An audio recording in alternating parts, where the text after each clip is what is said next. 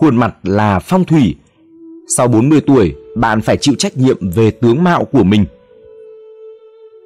Kính chào quý vị và các bạn đang theo dõi kênh Sống để hạnh phúc. Quý vị thân mến, con người khi bước tới độ tuổi trung niên sẽ thể hiện ra những tướng mặt do ảnh hưởng từ tính cách của mình. Những người khoan dung, nhân hậu thường có một khuôn mặt phúc hậu. Người có tính cách nhu mì thường có khuôn mặt xinh đẹp, dịu dàng. Những người vô cùng thô bạo thường có tướng mặt hung ác. Rất nhiều phụ nữ trung niên có phẩm chất không tốt lắm, thường có một khuôn mặt hà khắc. Đây chính là điều mọi người thường gọi là tướng bạc mệnh, tướng khắc phu. Nhìn cõi nhân gian ngàn vạn cảnh, nhân cách mỗi người cũng có hàng vạn kiểu.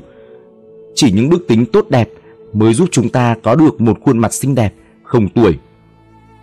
Nói cách khác, sắc đẹp cũng là một biểu hiện của phúc báo. Sau 40 tuổi, tướng mạo sẽ thầy bạn nói lên tất cả. Hãy cùng lắng nghe bài chia sẻ và suy ngẫm quý vị nhé. Thứ nhất, tướng do tâm sinh ra. Thời cổ đại, có một thợ thủ công sinh sống ở tỉnh Sơn Đông. Mặc dù lớn lên khôi ngô tuấn tú, nhưng anh ta lại thích tạc những hình tượng ma quỷ. Những tác phẩm điêu khắc của anh vô cùng sống động và theo thời gian, việc buôn bán của anh càng ngày càng phát đạt. Một ngày, anh nhìn vào gương và vô cùng kinh ngạc khi thấy rằng diện mạo của mình đã trở nên hung tợn và xấu xí. Anh đã đến gặp rất nhiều danh y nổi tiếng, nhưng không ai có thể giúp được anh. Chàng trai dừng lại ở một ngôi đền và kể sự tình với một người lớn tuổi. Ông lão trả lời, tôi có thể giúp điều ước của anh trở thành sự thật. Với điều kiện là anh hãy tạc cho tôi một số bức tượng quan thế âm với các dáng điệu khác nhau. Người nghệ nhân đã đồng ý ngay lập tức và bắt đầu nghiên cứu tư tưởng và diện mạo của quan thế âm Bồ Tát. Anh cũng cố gắng hết sức để thực hành theo đạo đức của Ngài như thể chính mình là Đức Quan Thế Âm vậy. Sau 6 tháng nghiên cứu và làm việc chăm chỉ, anh đã khắc được một số bức tượng sinh động của Phật Bà Quan Âm, thể hiện lòng tốt, từ bi, khoan dung và thần thánh của Ngài. Mọi người rất ngạc nhiên trước những bức tượng sinh động giống như thật. Người nghệ nhân cũng rất ngạc nhiên khi thấy rằng tướng mạo của mình đã hoàn toàn thay đổi. Giờ đây, nhìn anh thật hùng dũng và oai nghiêm. Kỳ thực, từ trung y cổ đại cũng như sinh lý học và tâm lý học hiện đại là có thể thấy rằng đạo lý tướng do tâm sinh cũng giản đơn. Cái tướng mạo của người ta là do hai bộ phận hình và thần tạo thành. Hình tướng là đặc thù của sinh lý, còn thần tướng vừa bao hàm nhân tố sinh lý, vừa phụ thuộc vào sự tu chỉnh, quyết định. Nhất cử nhất động, từng ý từng niệm trong cuộc sống. Qua một thời gian thì dần dần sẽ ngưng động trên khuôn mặt. Nghĩa là hữu chư nội tất, hình chư ngoại. Có gì bên trong, ắt xuất hình bên ngoài. Tâm niệm này sinh cũng sẽ ảnh hưởng lên thân thể. Nếu như nội tâm an hòa tinh tại thì thần thanh khí sảng, lạc quan đôn hậu, quang minh ngay thẳng. Điều đó sẽ khiến cho khí huyết điều hòa, ngũ tạng an định, công năng chính thường, thân thể khỏe mạnh. ắt sẽ thể hiện ra mặt mũi sáng sủa, thần thái phấn khởi. Ai gặp mặt cũng cảm thấy thoải mái, có cảm giác thân thiện, an hòa một cách tự nhiên. 2 bác sĩ phẫu thuật thẩm mỹ và câu hỏi lạ kỳ. Nhà văn Tất Thục Mẫn đã kể một câu chuyện như sau. Một ngày, cô đến thăm một bác sĩ phẫu thuật thẩm mỹ. Trước khi phẫu thuật, vị bác sĩ thường hỏi mọi người một câu. Nếu trả lời không chính xác, thì ông sẽ cáo lỗi rằng mình không thể tiến hành cuộc phẫu thuật ấy. Tất Thục Mẫn hỏi, là chuyện gì ạ? Bác sĩ nói, nếu gương mặt bạn là một thung lũng, hãy nói cho tôi biết cảnh sắc ở đó có những gì. Có người nói, có rừng cây xanh gì, có suối chảy róc rách. Có người nói trong thung lũng có muôn loài không ngừng ca hát. Có người nói trong thung lũng của mình chỉ có gió lạnh thê lương như trong địa ngục. Có người nói, thùng lũng của họ thú giữ thành bầy. Tất Thục Mẫn cảm thấy hồ nghi. Câu hỏi này dường như chẳng liên quan gì đến việc phẫu thuật thẩm mỹ cả.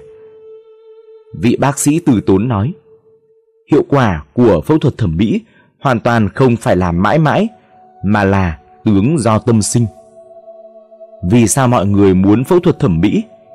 Rốt cuộc đều là vì muốn bản thân mình trở nên xinh đẹp hơn. Nhưng dẫu dùng mạo xinh đẹp đến đâu thì cũng chẳng thể giữ mãi. Nó nhất định sẽ chìm nổi theo sự dao động của tâm hồn. Cũng như một chiếc áo mỗi người khoác lên mình thì nửa năm sau sẽ có những nếp nhăn khác nhau.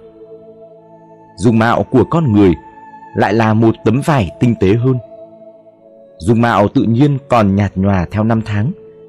Dung mạo qua phẫu thuật lại càng chẳng thể chống chọi nổi với thời gian. Sầu khổ sẽ sinh ra những nếp nhăn tương ứng. Vui vẻ sẽ chẳng để lại nếp nhăn. Nếu bạn muốn có một dung mạo xinh đẹp, vậy thì tâm hồn bạn chắc chắn phải luôn trong sáng, vui tươi. Thời gian sẽ xóa nhòa hiệu quả của phẫu thuật thẩm mỹ. Chỉ có sự tươi sáng trong tâm hồn mới có thể nuôi dưỡng vẻ đẹp trường tồn cùng thời gian. 3. Câu chuyện về khuôn mặt và tính cách của Tổng thống Mỹ Abraham Lincoln Từ bé đến giờ, chúng ta luôn được dạy và đã thấm sâu quan niệm không nên đánh giá con người bằng vẻ bề ngoài. Một tâm hồn thánh thiện có thể ẩn chứa bên trong một khuôn mặt xấu xí. Một lần, Tổng thống Mỹ Abraham Lincoln phỏng vấn một ứng viên nam ngoài 40 tuổi đến làm nhân viên cho chính phủ. Mặc dù người đàn ông này rất có tài năng, nhưng vị tổng thống vẫn không tuyển dụng. Người phụ tá thấy vậy liền hỏi Tổng thống Lincoln nguyên nhân vì sao ông không nhận ứng viên tài năng này. Tôi không thích tướng mạo của anh ấy. Tổng thống Lincoln nói. Chẳng lẽ một người khi sinh ra không được ưa nhìn thì là lỗi của họ sao? Người phụ tá không hiểu nên hỏi lại. Mỗi người sau 40 tuổi đều phải chịu trách nhiệm cho khuôn mặt của mình. Tổng thống Lincoln trả lời. Con người đến tuổi trung niên, sau 40 tuổi thì tướng mạo sẽ lộ rõ ra tính cách và phẩm chất của người đó. Người có tấm lòng khoan dung, độ lượng thì phần lớn sẽ có khuôn mặt phúc hậu. Người có tính tình hiền dịu thì tướng mạo sẽ đẹp một cách nhu hòa, thánh thiện. Người có tính cách thô bạo lỗ mãng thì tướng mạo sẽ luôn là hung dữ. Người có lòng dạ nhỏ mọn thì phần lớn sẽ có tướng mạo xấu xí, hai hàng lông mày nhíu chặt. Người có tướng mạo lộ ra vẻ đặc biệt trẻ trung và xinh đẹp thì người này nhất định là đơn thuần lương thiện. Các nhà tâm lý học còn cho rằng khuôn mặt của mỗi người có thể chứa những bí mật sâu thẳm nhất. Khuôn mặt của một người liên quan mật thiết đến nội tâm bên trong người đó. Khuôn mặt không chỉ là một sản phẩm của sinh học. Chúng ta không thể thay đổi gen hay hormone. Nhưng bằng việc chú trọng vào nhân cách, sống yêu thương, khoan dung độ lượng, nhân từ trung thực, hào phóng, tự trọng, thì tất cả những điều tốt đẹp đó sẽ tác động đến cơ mặt và nó sẽ bắt đầu thay đổi và phản chiếu lên khuôn mặt. Vì quan niệm này khác xa với những gì đã được giáo dục và hình thành từ bé, nhưng có nhiều điểm đáng suy nghĩ. Vì vậy, tôi quyết định bắt đầu quan sát, chiêm nghiệm một thời gian thật dài nữa để có thể đưa ra một kết luận gần sát với chân lý hơn. Nhiều người nghĩ rằng tướng mạo bản thân là do trời sinh, không thể thay đổi theo cách tự nhiên mà phải tác động bằng dao kéo. Thực tế không phải vậy. Dung mạo sẽ đẹp hơn nếu tâm hồn ngày càng trong sáng và thuần thiện. Thế nên, thay vì tốn tiền và phải chịu nhiều đau đớn của dao kéo, sao chúng ta không thay đổi chính tâm hồn mình? Cụm từ tướng tùy tâm sinh có nghĩa là vẻ bề ngoài của bạn chính là sự phản ánh những cảm xúc của bạn và cả những suy nghĩ, hành động cũng được thể hiện ra ngoài nét mặt của bạn. Nói một cách khác, tướng mạo của bạn sẽ cho biết trong tâm bạn có gì. Nếu bạn vui vẻ, bạn sẽ có một diện mạo dễ chịu, ôn hòa, thoải mái, khiến người khác cảm thấy rằng cử chỉ và tướng mạo của bạn thật đẹp đẽ, dễ chịu. Ngay cả khi nhìn chúng có vẻ giản dị mộc mạc hơn so với tiêu chuẩn về cái đẹp được đa số chấp nhận ngày nay. Tướng mạo sẽ cho biết trong tâm bạn có gì. Để có tướng mạo đẹp ở tuổi trung niên, hãy thường xuyên tu dưỡng những điều sau.